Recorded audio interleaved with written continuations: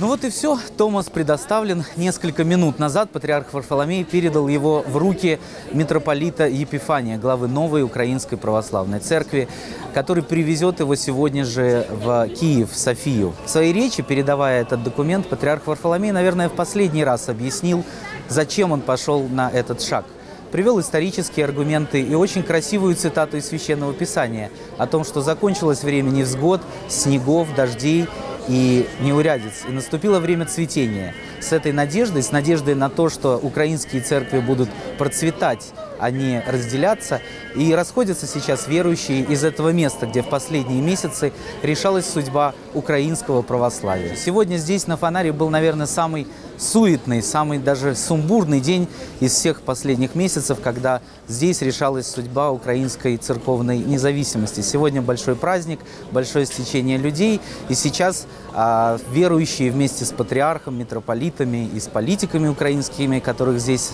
огромное количество, пройдут к бухте Золотой Рог, где будет освещение воды. И вот этой церемонией, красивой, символической, и будет завершен процесс предоставления Украине долгожданного Томаса.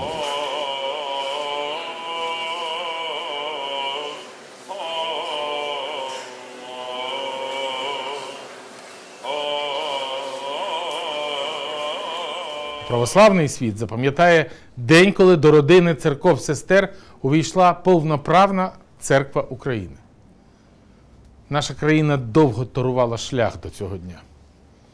І не дарма вчора його Всесвятість згадав в своєму виступі і Ольгу, першу нашу княгиню християнку, і рівноапостольного князя Володимира Хрестителя. А Томос для нас це фактично ще один акт проголошення незалежності України. Весь процесс предоставления Томаса об автокефалии Украине как будто специально был связан с церковным календарем.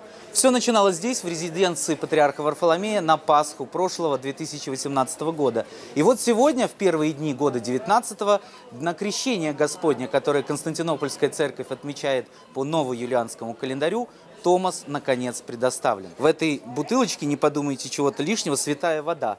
А ее тут раздают всем паломникам. Посмотрите, из какого чана. Этому сосуду уже больше ста лет, и до сих пор его используют, чтобы набирать в этот день святую воду. Так сделал и я, и привезу ее в Киев вместе с Томасом.